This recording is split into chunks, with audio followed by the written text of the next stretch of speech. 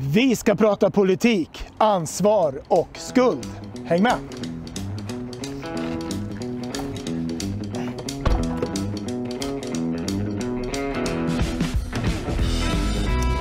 Tänk dig att du är ute och kör bil. Du har händerna på ratten, du kör inte för fort, du tittar framåt dit du ska och bilen är besiktad och godkänd. Om det då springer ut en person i gatan utan att du ser att personen kommer, är det då ditt fel att olyckan skedde? Nej, det är det inte. För du följde lagarna och du hade blicken framåt. Du kunde inte hjälpa att det blev en olycka. Om du däremot sitter och tittar i mobilen och kör alldeles för fort och så kommer en person där framme som fredligt korsar gatan på ett övergångsställe. Men du ser ingenting. Är det då ditt fel om du kör över personen? Svar ja. Det är ditt fel att olyckan skedde och du kommer att dömas i domstol.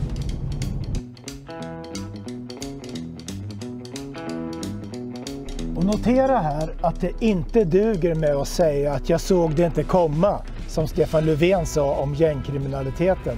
För ditt jobb som bilförare och som statsminister, det var just att se det komma. Dessutom satte folk i baksätet och skrek och varnade för vad som var på väg att hända. Men du, ja, du kallade bara dem för rasister och du körde bara på som vanligt. För precis som en bilförare förväntas ta ansvar för sin bil och sin bilkörning så förväntas politiker kunna ta ansvar för sitt land. De ska hålla händerna på ratten, titta framåt, se upp för potentiella faror och risker och lyssna på varningar. Och gör de inte det, då kan de inte säga att de inte såg olyckorna komma, för de förväntades ju titta ordentligt.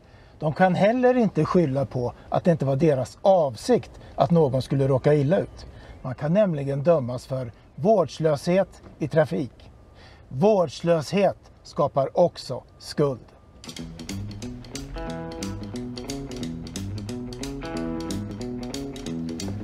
Svenska politiker, de har ta med fan varit vårdslösa med Sverige. Och det duger inte att komma och säga att de inte såg olyckan komma. För de hade sett den komma om de hade lyssnat på varningar och om de hade valt att titta. Tack!